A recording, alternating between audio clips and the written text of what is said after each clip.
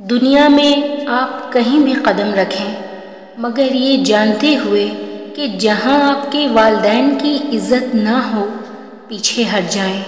जिस घर में ख़ास तौर पर आपकी माँ को इज़्ज़त की निगाह से ना देखा जाता हो, इज़्ज़त ना की जाती हो, चाहे वो रिश्तेदार हों, छोड़ दें वो कभी आपके सगे नहीं हो सकते जो आपके वालदेन को अच्छा नहीं जानते। दुनिया के आर्जी रिश्तों के लिए अपने माँ बाप को नाराज़ हरगज़ ना करें।